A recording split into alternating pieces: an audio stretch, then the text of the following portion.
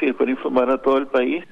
que el incendio que se produjo en la laguna de hidrocarburos de la refinería del Palito ya está extinguido. Fue completamente extinguido, controlado por nuestros bomberos, nuestros trabajadores, nuestros equipos técnicos. No se produjo ningún tipo de, de afectación a ninguno de nuestros operadores por supuesto a ninguna persona de la población.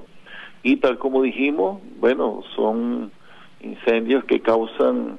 una gran impresión, pero que no revestían peligro ni para nuestras operaciones ni la población. Quiero aprovechar para extender mi más profundo agradecimiento y felicitaciones a los trabajadores de nuestra nueva PDVSA y a los bomberos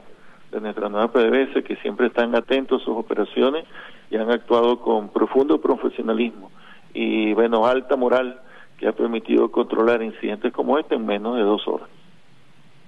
También quisiéramos su reflexión sobre todo aquellas personas que a través de las redes sociales hicieron eco de una información que no estaba ni confirmada ni avalada por parte de las autoridades, en este caso usted, y que pues aprovecharon este incidente que gracias a Dios no reportó ningún daño que represente ningún peligro ni para la refinería ni para la comunidad y sin embargo aprovecharon las redes sociales para crear algún, alguna matriz de zozobra y de angustia en la población.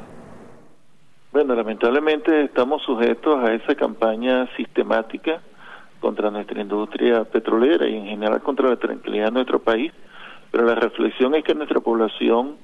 eh, debe estar tranquila y confiada. Tenemos un gobierno que ante cualquier circunstancia actúa con la mayor responsabilidad, transparencia, que siempre informamos cualquier situación, pero que igualmente nuestros hombres y mujeres que están al frente de nuestras distintas instituciones saben actuar con prontitud y con un alto sentido de responsabilidad. Así es que el llamado es a que todos tranquilos, nosotros vamos a seguir gobernando con nuestro presidente Nicolás Maduro y nuestros trabajadores